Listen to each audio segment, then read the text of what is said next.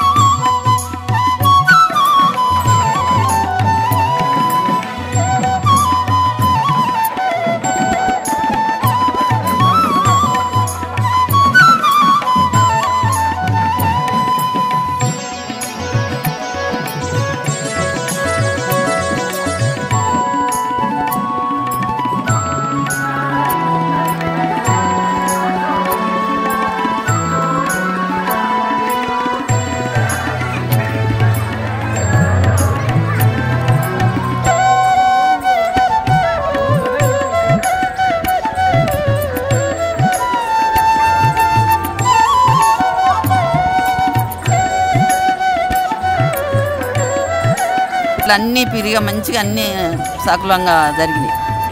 అంటే ఇప్పుడు go go సేవ గురించి మీకు ఏం అసలు ఇక్కడికి వచ్చిన తర్వాత ఏం తెలిసింది? గోసేవ గురించి ఇది చెయ్యాలని తెలిసింది. చెయ్యాలి ఇదంతా మంచిగా ఉండాలి అందరూ బాగుండాలి. ఇది అందరూ పట్టించుకుంటే మంచిగా అవుతుంది మనం ఒక్కరిద్దరితో పని కాని పని అని అనుకుంటున్నాం. ఇక దేవుని దయ అంతా గోవిందరాజు. మీరమ్మా. చెప్పండి ఏ ఏదో రెండు మాటలు మాట్లాడతారు మీరు ఎక్కడి నుంచి వచ్చారు? మేము హౌసింగ్ బోర్డు నుంచి వచ్చామండి. హైదరాబాద్ హౌసింగ్ బోర్డు నుంచి వచ్చాము. అంటే మీకు ఎట్లా తెలిసింది ఇక్కడ ఈ ప్రోగ్రామ్ అనేది? మాకు ప్రోగ్రామ్ అనేది సంధ్యారాణి వలన స్వరూప వల్ల తెలిసేది. మేము ఇక్కడ వచ్చినాక గోమాత గురించి విన్న నుంచి మాకు చాలా హ్యాపీగా ఉంది.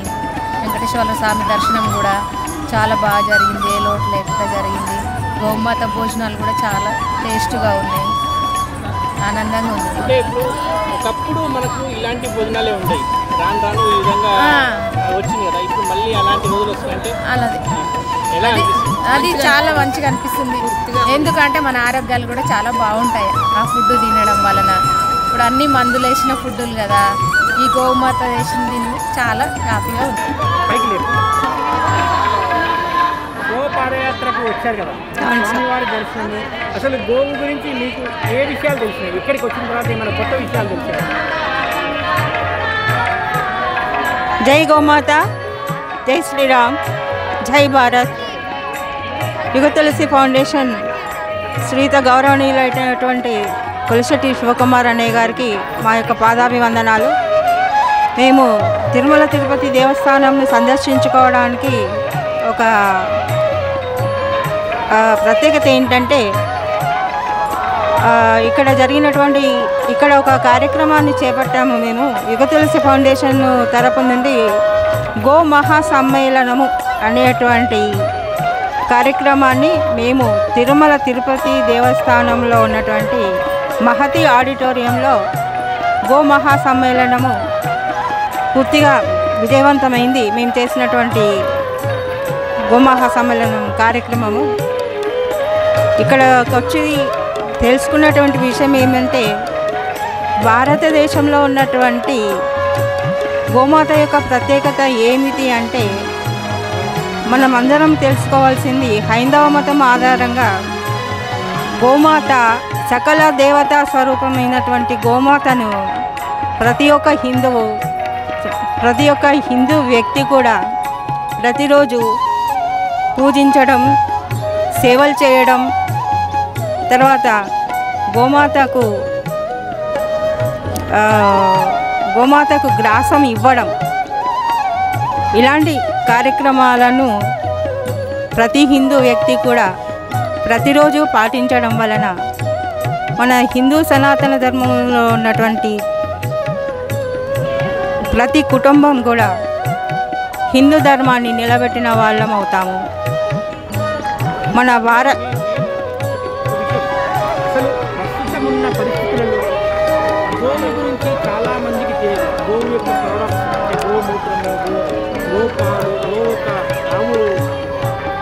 పదార్థాలతో చేసే ఫుడ్ని అవాయిడ్ చేస్తారు.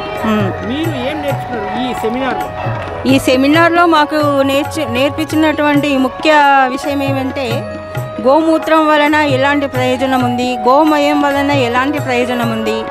గోవును సేవించడం వలన మనకు ఎలాంటి ప్రయోజనం ఉంది? గోవును ఎందుకు సేవించాలి? ఎందుకు రక్షించాలి?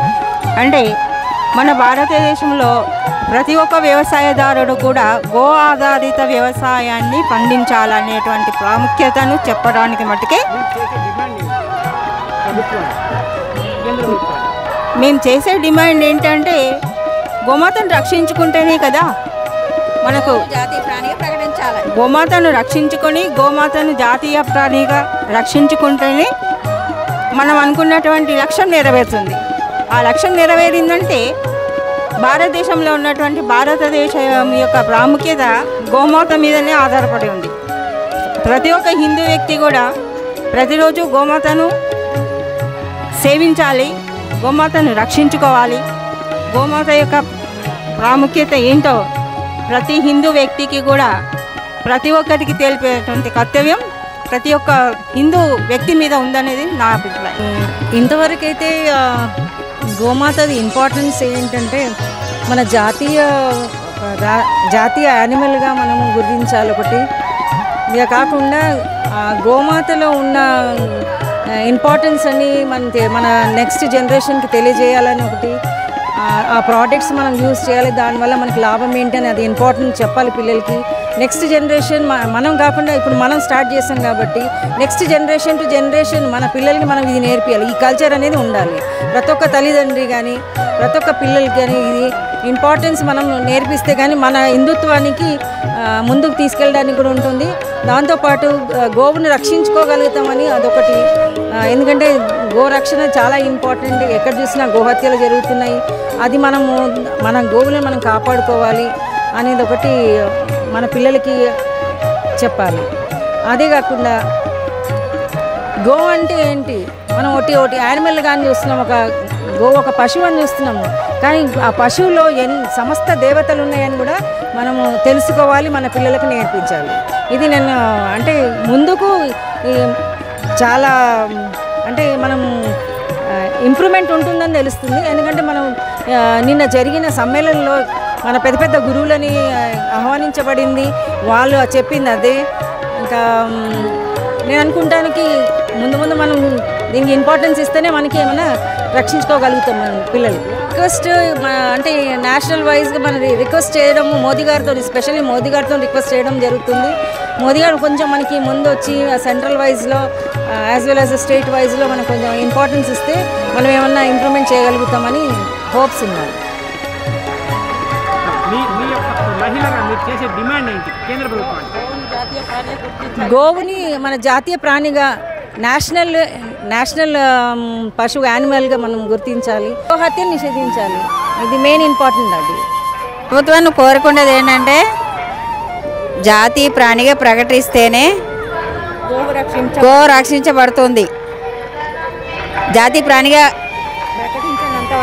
చేయనంత వరకు కూడా దానికి రక్షణ అనేది ఉండదు. ఈరోజు తిరుపతిలో గోమహా సమ్మేళనం జరిగింది. ఎలా అనిపిస్తుంది? చాలా సంతోషంగా ఉంది కానీ అది ఇంకా సరిపోదు అనిపించింది ఇంకా సంతో సంతోషం అనేది కాదు ఇంకా ఏంటంటే ఇంకా బా మంచిగా చేసుంటే బాగుండేది. ఆ దా ఆ ఒక్క దాంతో సరిపోదు. ఆ ఒక్క దాంతో సరిపోదు. అంతకన్నా మన శివకుమార్ తలబెట్టిన ఈ గోమాత గురించి ఉద్యమం కానీ గణపత్రి మహారాజు గారు చేసిన దాంట్లో ఇంత చిన్నది కూడా కాదు ఒక వంతు కూడా కాదు కానీ ఇంకా చెయ్యాలి. ఆయన ఢిల్లీనే ఢీ కొట్టారు. సోనియా గాంధీనే ఢీ కొట్టారు ఆయన. మనం ఎంతటి వాళ్ళం? అప్పటిలో ఇందిరాగాంధీ సహకరించలేకపోయింది ప్రస్తుత పరిస్థితుల్లో మనకు మోడీ గారు అనుకూలంగా ఉన్నారు. అవును. హిందువులు అంటే చాలా అభిమానం ఆయన హిందూయిజం గురించి పోరాడుతున్నారు. అవన్- ఈ ప్రయత్నం మనకు విజయం సాధిస్తుంది అనుకుంటారా? హిందూ మతం అని వాళ్ళు చెప్పుకోవడానికి చెప్పుకోవడానికే కానీ వాళ్ళు హిందూ మతానికి చాలా దూరంగానే ఉన్నారు. ఎందుకు? వాళ్ళ దాంట్లోనే ఎమ్మెల్యేలు ఉన్నారు. మన గోమాత రక్షిస్తుంటేనే వాళ్ళని డైవర్ట్ చేస్తున్నారు. అలాంటి మన మన వాళ్ళు స్వయంగా మనకు చెప్పడం కూడా జరిగింది. తిరుమల తిరుపతి దేవస్థానం వాళ్ళు ఈ గోమాత సంరక్షణకు వల్ల చేయడం కోసం ముందుకొచ్చారు. చాలా సంతోషం. కానీ ఈ ఉద్యమంలో పాల్గొ పాల్గొనడం అనేది చాలా ఇదైంది. కాకపోతే ఏంటంటే రాబోయే సంవత్సరం లోపల ఖచ్చితంగా గోమాత జాతి ప్రాణిగా ప్రకటిస్తాడనే ఏడుకొండల స్వామి సన్నిధిలో అవుతుందని నా కో- ఇది నమ్మకం. బౌద్ధి అండి. ఈ గో సమ్మేళనానికి రావడానికి నాకు కూడా చాలా హ్యాపీ సంతోషంగా ఉంది. ఇందులో పాల్గొన్నందుకు పెద్ద ఎత్తున ఉద్యోగం జరిగింది. ప్రతి ఒక్కరు కూడా గో గురించి చెప్పారు. నిజంగా పెద్ద పెద్ద వాళ్ళు కూడా చాలామంది చాలా మాట్లాడారు. కొన్ని తెలియని వాళ్ళు కూడా అయితే తెలియని వాళ్ళు అంటూ ఎవరూ లేరు. కొంతమంది ఉన్నారు గో గురించి. వాళ్ళు కూడా తెలుసుకున్నారనమాట ఊర్లలో కూడా ప్రతి ఒక్కరికి ఒక ఆవును దూడను ఇస్తామని కూడా చెప్పడం జరిగింది. ప్రతి ఒక్క గుడి కూడా టీడీటీ తరఫు నుంచి ఇస్తామని చెప్పడం జరిగింది. ఇది కూడా త్వరలో నెరవేరుస్తామని చెప్పారు. ఇది కూడా తొందరలో రావాలనుకుంటున్నాను నేను. తర్వాత అండి ఊర్లలో ప్రతి ఇంటికి గోవు కూడా ఉండాలండి. ఇంతకుముందు ఉండేది ఇప్పుడు లేదు. కానీ ఎనబ వెనకటి రోజులు మళ్ళీ రావాలి ఇప్పుడు. ప్రతి ఇంటికి ఒక గోవు ఉండాలి. ఎందుకు అంటే దాని నుంచి వచ్చే ప్రతి ఒక్కటి కూడా పేడ కావచ్చు తర్వాత గోమూత్రం కావచ్చు దాని నుంచి ఎన్నో వైద్యం ఉంది. మనకందరికీ కూడా అందుబాటులో తీసుకొస్తున్నారు. నవనీతం అని చేస్తున్నారు. అది కూడా చాలా మంచి ప్రోగ్రాము. నిజంగా చాలా విషయాలు చెప్పారండి. మేము ఎన్నో నేర్చుకున్నాము. ఇంత రావడం కూడా మాకు తెలియని విషయాలు తెలిసి గోవు అంటే నూటొక్క దేవతతో సమానం. గృహప్రవేశం జరిగినా ఒక ఏదైనా జరిగినా కూడా ఫస్ట్ గోవు రావాలంటారు. అటువంటి గోమాతకి సంరక్షణ లేదండి ఇప్పుడు. కానీ అది రావాలి ఇప్పుడు మనకు. ఖచ్చితంగా దాన్ని తీసుకురావడానికి ప్రతి ఒక్క మహిళ కూడా పోరాడాలనుకుంటున్నాను నేనైతే. నా తరఫు నుంచి మేమందరం కూడా మేమైతే వచ్చామో అందరం కూడా చెయ్యాలి. ప్రతి ఒక్క ఇంటింటికి చెప్పాలి ఊరి ఊరికి చెప్పాలి గ్రామ గ్రామానికి కూడా చెప్పాలి. ఇంతటితో ఆగకూడదు. మరిన్ని లేటెస్ట్ అప్డేట్స్ కోసం సబ్స్క్రైబ్ చేయండి.